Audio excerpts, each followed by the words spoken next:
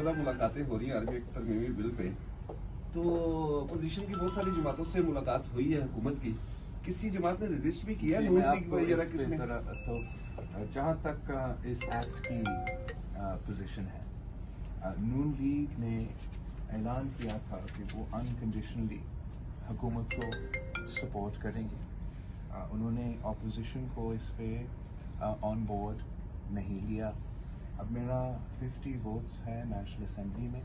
میں نہ ایک فل سٹاپ کو، نہ ایک کاما کو اس ریالٹی میں افیکٹ کر سکتا ہوں۔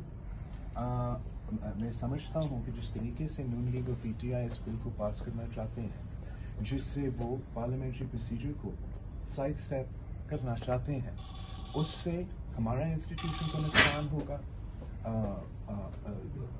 یہ ہمارا فوج کا انسٹیٹیوشن کا نقصان ہوگا۔ اور ہم وہی غلطیاں پھر سے دہرا رہے ہیں جو نوٹیفیکیشن فیز میں ہوا تھا۔ تو اگر حکومت پاکستان پیپلز پارٹی اور اگر قائز حفظ اخلاق پاکستان پیپلز پارٹی کی سپورٹ چاہتی ہے اس بل کے لیے، تو آپ پارلیمنٹری پروسیجر کو فالو کریں۔ کم از کم اس بل کو ڈیفنس کمیٹی میں بھیجا جائے۔ میں امید رکھتا ہوں کہ حکومت ہمارے بات کو مانیں گے۔ میں سمجھتا ہوں کہ بہتر ہوگا کہ یہ بل کنسنسس کے ساتھ پاس